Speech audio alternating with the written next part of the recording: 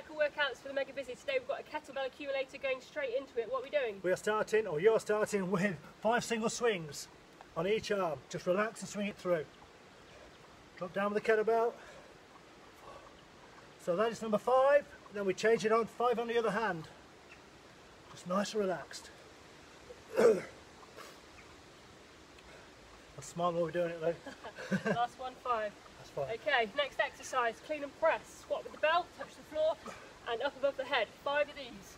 See how we're using the legs here? We're bending knees and hips, not from the waist. Four, one more. So after this, you go into upright rows. Croaky voice, five upright rows. nice and strong, shoulders back, head and chest up.